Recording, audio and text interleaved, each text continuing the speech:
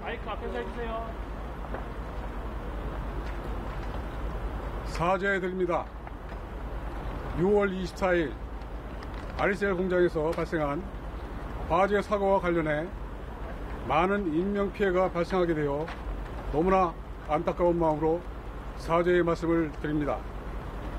무엇보다 불의의 사고로, 사고로 고인이 되신 분들과 유가족 분들께 깊은 애도와 사죄의 말씀을 드리고 이번 사고로 부상 및 피해를 입으신 모든 분들께 조속한 회복을 빌며 사과의 말씀을 드립니다.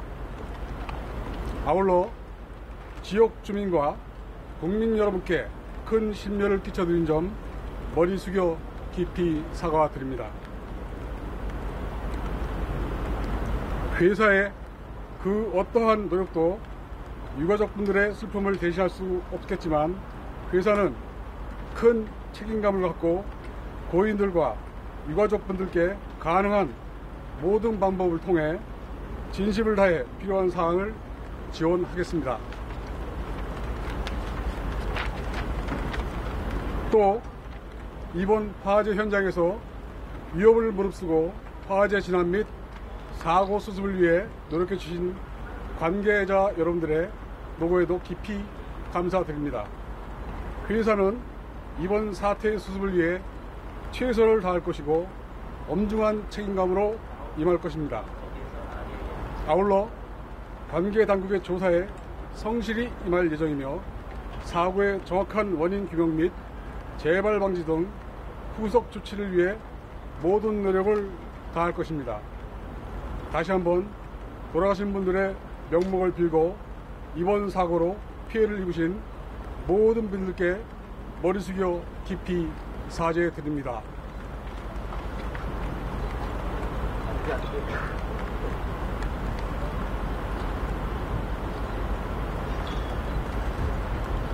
현재 사고 수습에 경황이 없는 관계로 주요한 질문 몇 가지만 받도록 하겠습니다.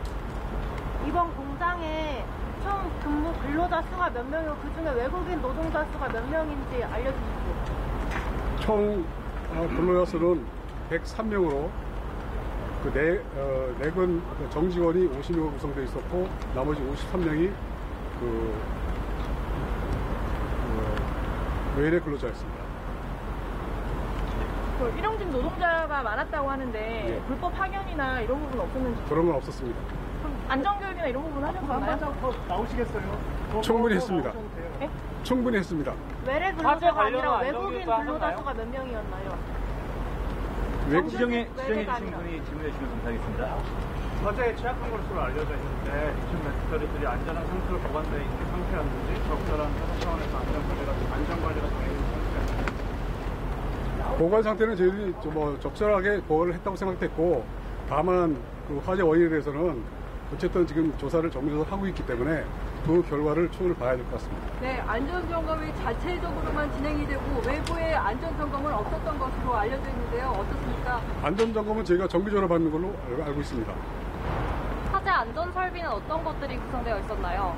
일단 경보장치와 진압장치로 나눠져 있고 그 다음에 화재가 발생했을 때 탈출할 수 있는 탈출로 그렇게 지금 저희가 구성하고 진압 있습니다. 장치는 어떤 구체적으로 어떤 건가요? 음, 개인용 소화기 말씀드리는 겁니다. 어떤 B급 소화기인가요? 분물, 분말 소화기입니다. 일반 분말 소화기 말씀하신 건가요? 예. 사망하신 중국분들 기자는 어떻게 되죠? 데비트 말씀을 내주시죠. 예. 사망하신 외국인분들 고용 기자가 어떻게 되는지 아시나요? 그 부분은 지금 현재 파악 중에 있기 때문에 그 별도로 금속 화재 그 화재 그런 소화기나 그런 거 없습니까? 그거 소화기 일단 그, 그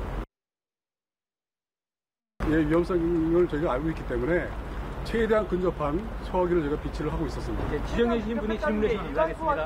아니면 어쨌든 특화된 소화기인가요? 질문을 못- 가정용 소화기가 비치되어 있던 건가요? 아닙니다.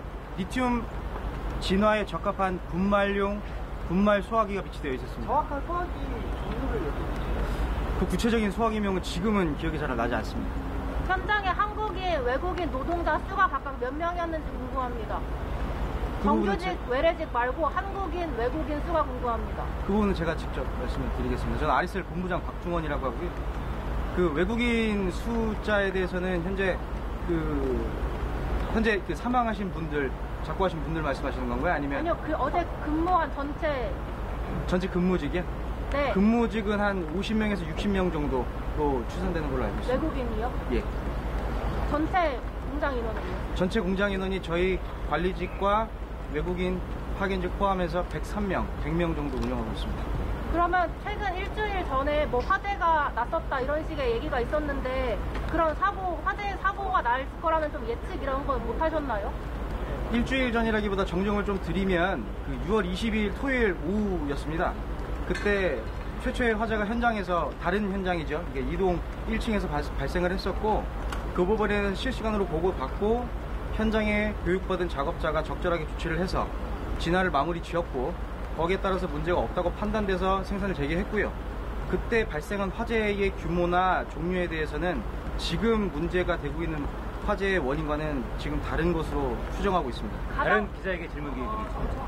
그 외국인 근로자들 대상으로 외국 그 안전교육 진행됐다고 하셨는데 정확히 어떻게 진행되는지 말씀 정기적으로 진행하고 있습니다. 어떻게 뭐 무슨 교육을 시키시나요? 왜냐면 막 출구를 못 찾았다 이런 말이 있었거든요. 예를 들면 그 출구에 대한 부분 말씀을 드리면 그 저희가 상시적으로 지속적으로 교육을 하고 있고요. 예를 들면 출구 같은 것들은 저희가 외국인 분들께서 작업자 분들께서 그날 처음 출근하셔도 잘 볼 수 보실 수 있게끔 작업 곳- 작업장 곳곳에 저희가 비상 대책 매뉴얼, 비상 대피 매뉴얼을 비치를 해두고 거기에 따라서 잘 대처할 수 있게끔 그렇게 진행을 했고 그리고 정기적으로 저희가 실제로 그 화재 환경을 조성을 해서 분말 소화기로 끄는 교육도 저희가 정기적으로 진행한 바 있습니다. 어제 돌아가신 20분 20일 날 화재가 신고 하지 않으신 이유랑 공장 측에서 시시했다는 유족측 이야기가 있는데 그에 대한 입장 좀 알려주세요. 쉬시하지 않았습니다.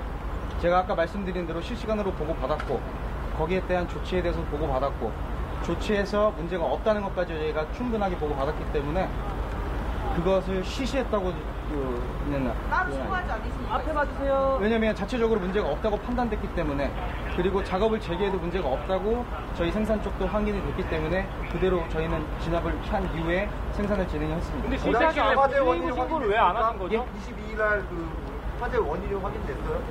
화재 원인에 대해서는 원인이라기보다는 작업자가 그 불량셀을 작업하는 불량셀에 대해서 사전에 인지를 해서 별도로 빼놓은 셀에서 화재가 발생하게 한 겁니다. 조금 더 구체적으로 설명해 주실래요? 고농어가드 사업장이 아닌 것으로 알고 있는데 외국인 근로자들은 이제 파견직인가요? 그 부분에 대해서는 제가 나중에 말씀드리겠습니다. 왜 대다수의 사상자들이 외국인 근로자가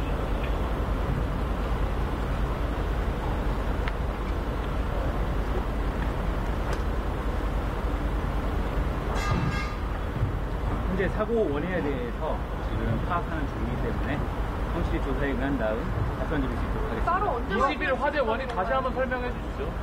불량세를 따로 빼놓는 거에 대해서 구체적으로 다시 한번 설명해 주시죠. 20일 날 화재.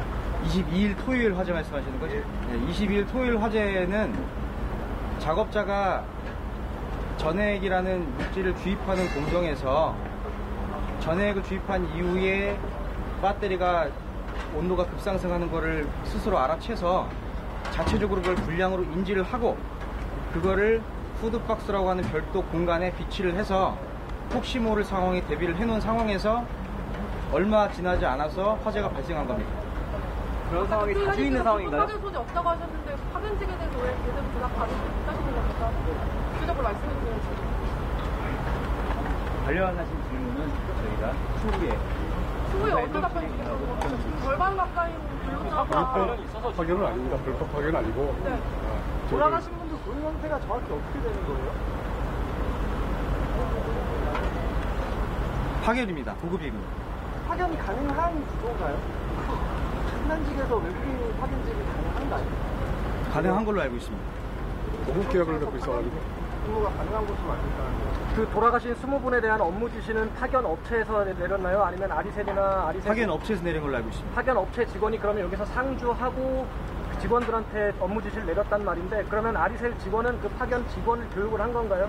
이렇게 이렇게 업무를 업무를 지시를 해라 이렇게 그럴 그- 필요성이 있었을 것그 같은데 디테일한 내용에 대해서는 현재 저희도 상황 파악 중이라서 지금 그 부분에 대해서는 구체적으로 답변 드릴 수가 좀 없을 것 같습니다. 네, 죄송하지만 질문 다섯 가지만 받고 종료하도록 하겠습니다. 안한 사람이 할게요. 예. 에이셀 대표 최지 대표와는 관계인데 친척 관계인데 아닙니다. 없습니다. 관계 아니에요? 유가족들은 직접 회사 측에서 연락을 못 받고 대사관 쪽에서 먼저 연락을 받았다는데 유가족 측에 어떻게 설명을 하셨는지 일단 파견 도급직에 대해서는 이쪽 사항에 대해서는 저희가 확보하고 하고 그 인력 구조를 회사에서 확보하고 있기 때문에 그게 지금 어, 전체 사항 조금 좀그 늦어지고 있는 걸로 지금 알고 있습니다. 세 가지 질문만 더 받겠습니다. 비상대책 매뉴얼은 어느? 한국어와 영어, 중국어 세 개로 다 구성되어 있습니다. 제가 알기로 제조업체에서 파견 업무는 불가능한 것으로 알고 있는데 그게 가능하다고 본 근거가 없으신가요?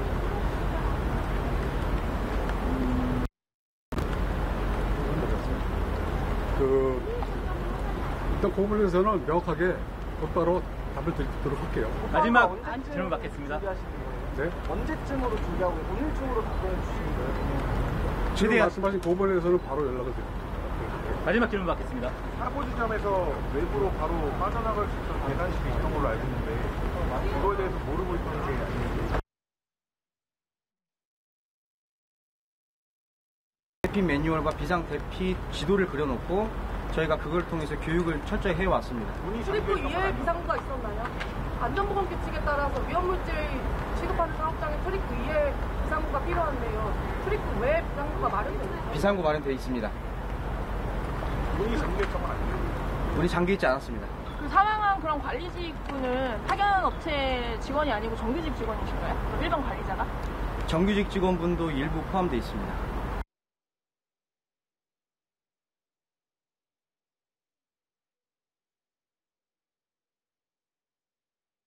이 부분에 대해서는